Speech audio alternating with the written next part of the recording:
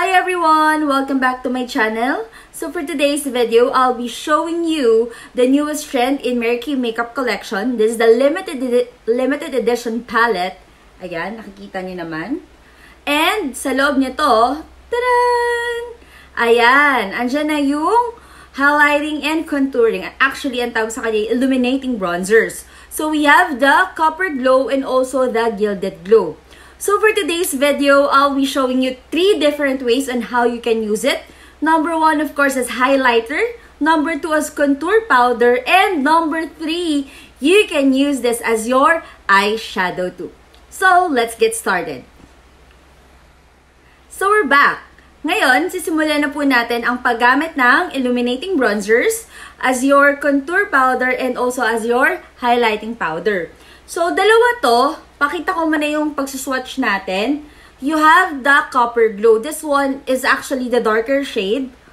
Yan. Pagka nilagay siya actually, sobrang dark din niya when you apply it. So, pwede nating i-check sa jawline. Ayan. Yan yung Copper Glow. And yung isa naman, is actually the Gilded Glow. The lighter one. Ito yun. So, kita nyo yung difference. So, ito talaga perfect for contouring. And ito naman, pwedeng konting highlighting. Okay? So, start na po tayo. Ay, blend ko lang siya. So, punta muna tayo sa contouring. Ang isa kong trick din, you can use this. Alam nyo, very affordable lang to. You can ask your beauty consultants on how you can avail this one as your contour powder brush. Okay? So, gagamitin muna natin yung Copper Glow. So, when you do your contouring, always make like a number 3 on your face. Ganyan. Okay? So, kailangan ito, yan, malagyan ng contour powder also dito. Sa hairline mo, tapos sa jawline mo, yan, tsaka dito. Gusto gusto nating lumiit. Okay? So, start muna tayo with, it, with regards to your copper glow. Apply lang tayo. Always remember, sobrang niyang pigmented. So, hindi kailangan sobrang dami. Konti lang. Makikita mo na siya. Ayan, oh. Kita niyo?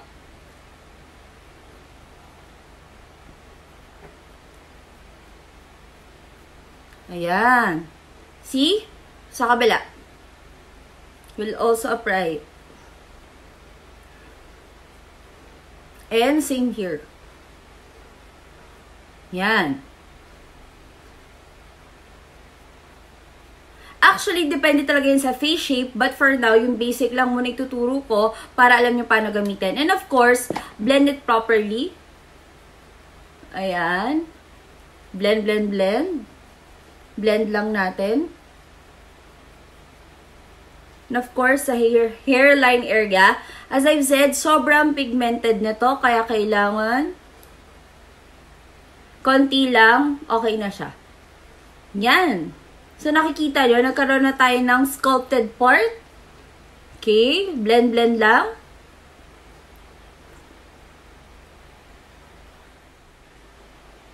Again, nakikita nyo na, diba? One of the techniques as well, you can use your sponge. This is actually cosmetic sponge from Mary Kay. So, kung gusto mo siyang dagdagan pa ng konti, pwede naman. Okay? Kasi gusto nating mas lumiit ang ating yan dito cheek area, lalo kung medyo chubby cheeks tayo. And of course, blend mo lang din sa hairline. And so, basic contouring lang tinuturo po natin para alam mo lang siyang gamitin. Next, actually, you can use this yan, as your, how about the highlighter? So, punta na tayo sa Gilded Glow. Ito yon the lighter one. I'll be using the Mary Kay, to brush din to. So, saan ba tayo dapat nag-highlighter? Under the eyes. Pwede din siya. Okay. Where else? You can actually put here sa inyong forehead area. Dito pa sa may chin.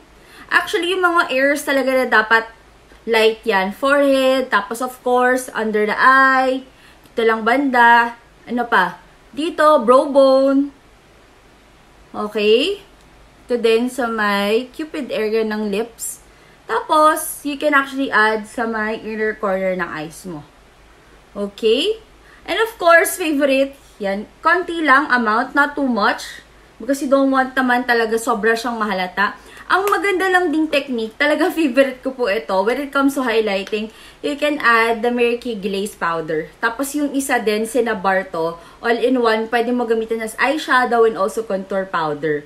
Yan. So, ito, dagdagan mo lang din ng glaze because glaze highlighter is really recommended, especially if you want to achieve this yan, luminous skin sabi nga, kumikinang-kinang. Ayan. Hinalo ko lang talaga siya with the Gilded Glow.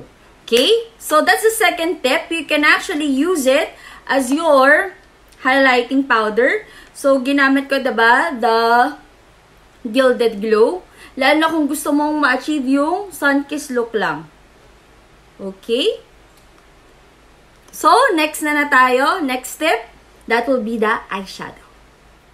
Hi! So, for now, we're gonna apply the eyeshadow. So, as you can see, I'm holding two brush. Isang flat brush, Kay din yan, at isang crease brush. For the flat brush, I'll be using the Gilded Glow. Ito po yon.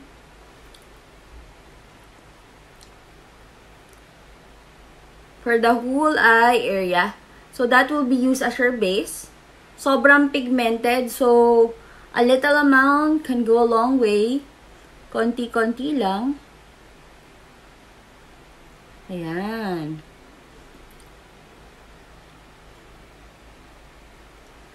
And next would be, ito na, the copper glow. So, as crease brush, sa dulo lang, mag-V ka lang dyan, tapos accent mo lang siya. Same thing sa kabila. Ganun lang din po. Ang isa ko din technique, you can actually use the eye smudger brush.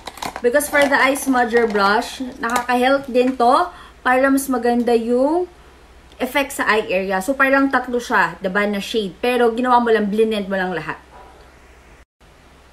Yan. So, for the eye smudger brush, ito yon medyo mas maliit siya. Gagamitin ko pa rin yung copper glow. Ang maganda lang kasi for the eye smudger brush, you can use this para din sa ilalim ng eye area. Here. So, ginamit ko copper glow sa ilalim. Half of it lang. And sa kabila din. Okay? Para lang may accent tayo. See? Nakita niyo yung difference? So, kahit pa paano nagkaroon siya ng blending, 101, ba? Diba? And you can add a little amount of the Gilded Glow as well. Yan, gamitin mo lang yung ginamit mong flat brush kanina. Because eyeshadow is all about blending and you want light to dark effect. And yun nga, lagi ko talagang favorite po i-add tong glaze. Sabi ko, it's really a must-have. Kasi nakakadagdag ganda talaga siya ng eyeshadow. So, dinalagay ko rin siya dito. Ayun no, see? Naka-pop lalo yung mata natin. Ayan. And here as well. Sa brow bone area nyo. Okay? Ayan. So, let's go for the finishing touches ng ating look for today. So, let's proceed with the liquid eyeliner. Ito yung waterproof eyeliner ni Mary Kay para mas maganda yung effect sa eyes. Ang maganda dito kahit mabasa, hindi talaga siya mag huhulas or in English diba, it's really waterproof, water resistant ang dali pa ning i-apply at ang bilis matayo. Okay, sa kabila din. Kung beginner ka, I really suggest you could create dash line first. And then, pagdugtungin mo lang. But the key here, dahan-dahanin nyo po. Yan. Favorite ko to kasi, compared with the other, I, what do call this? Eyeliner ito ang daling gamitin. Tsaka sobrang ganda na kasi waterproof na. And technique lang yung sinasabi to, when you store this, pag ganito ha, hindi pa ganyan. Yung takip nasa baba dapat. Okay, see how the eyeliner can really pop your eyes. And of course, I'll be using the Mary Kay Waterproof Mascara. Favorite ko din to. Because long wearing, kahit bigla ka maiyak, mateary eyes, or pagpawisin ka, di ba yung iba, pawisin yung mata nila. This one is really recommended. So, how do you use it? Root to tip, wiggle lang. Galing netong maka-lengthen and also volumize. The good thing about this product as well, even for us, lalo na ako, I'm a contact lens wearer. So, hindi siya irritating sa eyes ko. Okay? Tsaka as you can see, kahit hindi na ako mag-eyelash curler, ang ganda na nagiging effect. Yan. So, let's go with the finishing touches. So, what I did for today, ang emphasize ko lang talaga is how you can use this newest product as your contour powder. Hindi ko lang masyado initiman because an everyday look lang gusto kong mangyari. But as you can see, mas lumiit yung face natin with that illusion. And, of course, I use the highlighter, ito, Gilded Glow, as my and eyeshadow as well and highlighting powder. So, kita nyo, two colors yan. So, it is a combination ng Gilded Glow and Copper Glow. Technique lang po palagi, the lighter one should be sa loob and as your base and the darkest shade should be your accent. Okay? Yan.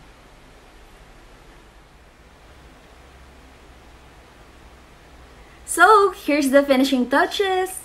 Ganda ng effect, ba? Diba? Simple way of having your contour and highlighting powder. Yan, nilagay lang natin siya sa ating jawline. Also, the areas na you want na mag-slim, like your cheek area. And of course, the highlighting powder, saan natin nilagay? Under your eyes, for nose line as well, and sa eye area natin. So, three ways again to use this product. As your contour powder, highlighting powder, and as your eyeshadow. So, this is a limited edition product here in the Philippines. So, if you have your beauty consultant, ask him or her on how can you avail this one, especially this palette as well. Ganda ng palette, limited edition din. But if you don't have one, you can you can directly contact me. Check in the description box on how you can contact me through email and also in my other social media accounts.